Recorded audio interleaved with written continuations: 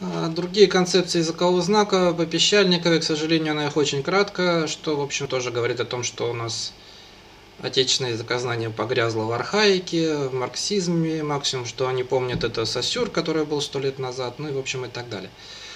А по поводу современных она выделяет три типа принципиальных пониманий. Первое феноменологическое, то есть правильное, да, которое она кратко говорит, то, что она правильного не любит и истину она ненавидит.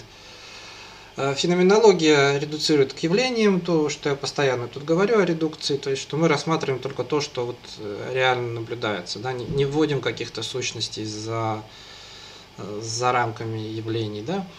Если рассматривать феноменологический знак, то это будет любой предмет, воспринимаемый органами чувств, который сигнализирует о чем-то, что непосредственно не наблюдается. То есть знак, в принципе, сводится к сигналу. Получается два, в принципе, типа знаков, акустические и оптические, но можно, конечно, в основном, конечно, у нас органы чувств это оптические, да, и визуально мы все это воспринимаем, и на слух.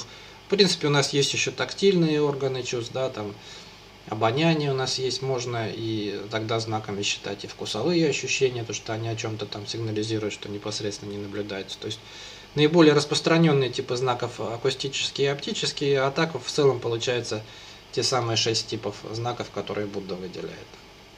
То есть там можно посмотреть, да, там а, тактильные ощущения, акустические, оптические, ну и разум, разум, когда обозначает, тоже ведь получается, да, сигнал. То есть расширить это можно до шести. А дальше она рассматривает только психологическое понимание. Знак – это модель, которая обобщает э, функциональные свойства предмета. Здесь вводится предмет – Поэтому э, это заведомо нелогическое понимание, потому что предполагается заранее, что есть какой-то предмет, а может его и нет. Э, и при этом знак является частью звуковой ситуации, и она пытается э, позитивиста Морриса сюда тоже присоединить, хотя он предметов не рассматривал. Ну, то есть это вот типичное для марксистов попытки все время припахивать науку к ненауке. Ненаучное предположение здесь, что есть какой-то предмет, а сюда пытаются как-то вписать знаковую ситуацию, которая предметов не предполагает у Морриса. Ну и дальше она рассматривает билатеральное понимание знака, э, которое она э, тоже трактует превратно. То есть для нее имеется в виду понимание знака, как имеющего две стороны, означающее и означаемого. Для нее одна сторона знака, означающая материально, а вторая знака, э, часть знака, которая, которая что, что она обозначает, она идеальна без всяких оснований она припахивает сюда Сосюру, но Сосюр однозначно говорил, что обе стороны знака психичны. То есть материальной стороны знака нет, акустический образ он говорил. Он все равно не материален, что совершенно верно. Материи вообще нет. Есть только наши, есть только наблюдаемые явления, да. А материя, там предметы и так далее, это абстракция, причем неверная над наблюдаемыми явлениями. Так вот, билатеральное понимание знака не сводится к тому, что материя обозначает идею. Билатеральное знака, понимание знака просто говорит о том, что знак – это какая-то вещь, которая означает что-то другое. Вот в этом означаемость, да, акт означивания. Вот что-то одно означает что-то другое. То есть, в принципе, сводится к феноменологии на самом деле. Просто феноменология может быть и в сознании, и в сознании может одно обозначать другое а не обязательно, допустим, что-то, какое-то акустическое впечатление какое-то означает что-то не акустическое, да? Э, ну, исходя из э, вот таких э, противоречивых установок, которые изначально есть у материалистов, они приходят к различным противоречиям, которые они просто фиксируют. В частности, они говорят о принципе асимметричности знака. То есть они говорят о том, что знак сам по себе конечен, потому что они под знаком понимают какое-то материальное там, явление, да?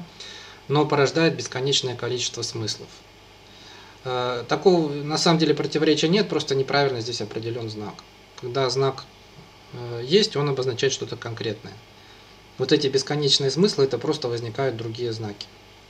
Э, связано с тем, что они считают материю чем-то постоянным. Но материя тоже не является чем-то постоянным. Акустические, вот звуки просто сами по себе, это тоже какая-то последовательность постоянно меняющихся там э, частот, да, они раскладываются как-то.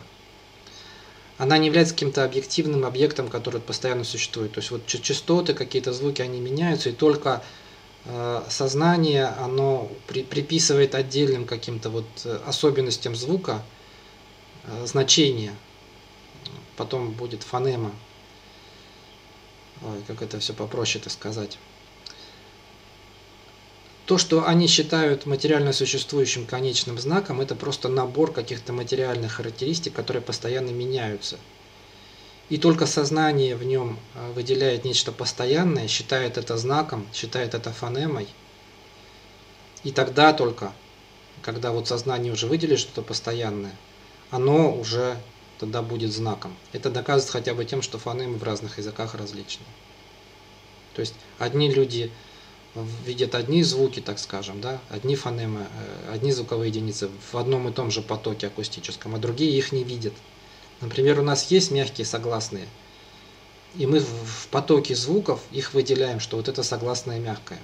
А у американцев нет мягких согласных, и они длительно учатся в потоке русских звуков выделять, какие мягкие, какие нет, потому что для них первоначально это одно и то же. Они не различают. Или мы, допустим, китайские какие-то звуки считаем одним и тем же звуком, а они считают это разными. И надо учиться специально осмысливать тот же самый материальный поток, как китайцы. О чем это говорит? Нет какого-то постоянного объективного материального звука, который мог бы быть какой-то стороной знака. А обе стороны знака психичны, как и говорил Сосюр. Поэтому нет асимметричности знака. Далее Леонтьев э, значит, э, также говорил о том, что есть противоречие между объективным каким-то значением знака и личностной интерпретацией. После чего почти всю главу про вот эти другие концепции знака она посвящает бреду Леонтьева. Бред Леонтьева э, основан на том, что есть какая-то личность, а личности не существует. Даже вот Курпатов, современный последователь советской психологии, он с этого и начинает, что личности не существует, советская психология была неправа.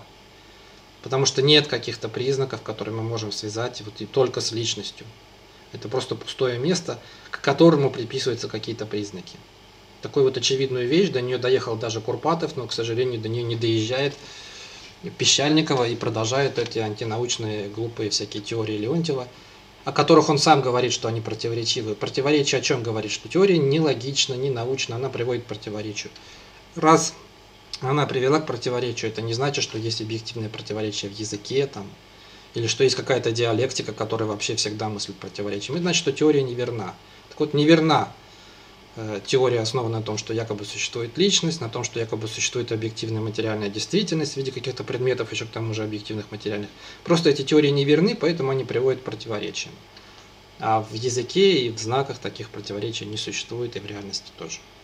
Просто нужно отказаться от неправильной теории в данном случае.